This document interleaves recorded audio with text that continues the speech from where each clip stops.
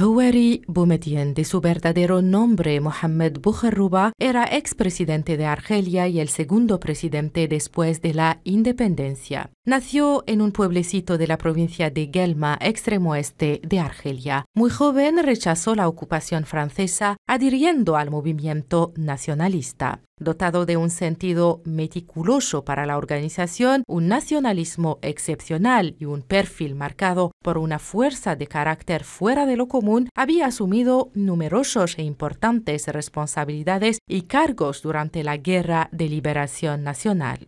Después de la independencia de Argelia, Boumediene tomó las riendas del poder con una voluntad de desarrollar al país a través de una nueva política basada en una reorientación en beneficio de los agricultores y de las masas laboriosas, librando una guerra sin piedad contra las ilegalidades sociales y los defectos heredados de la época colonial. Después de la recuperación de la soberanía política, la época de Boumediene fue marcada por la consolidación de la soberanía económica de Argelia con la nacionalización de las minas, de los bancos y los seguros y luego de los hidrocarburos, calificada por los historiadores como una segunda independencia para Argelia. Boumediene se impuso como un verdadero líder del tercer mundo en la lucha por un orden equitativo entre las naciones del norte y del sur. Bajo la conducta del difunto, Argelia se convirtió en meca de los revolucionarios y de los hombres libres. Houari Boumediene apoyó de manera activa a los movimientos de liberación de África, de Asia y de América Latina a su frente